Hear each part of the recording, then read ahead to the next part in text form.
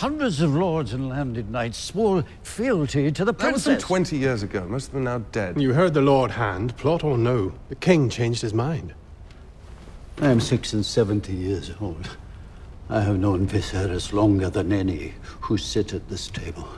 And I will not believe that he said this on his deathbed alone with only the, the boy's mother as a witness.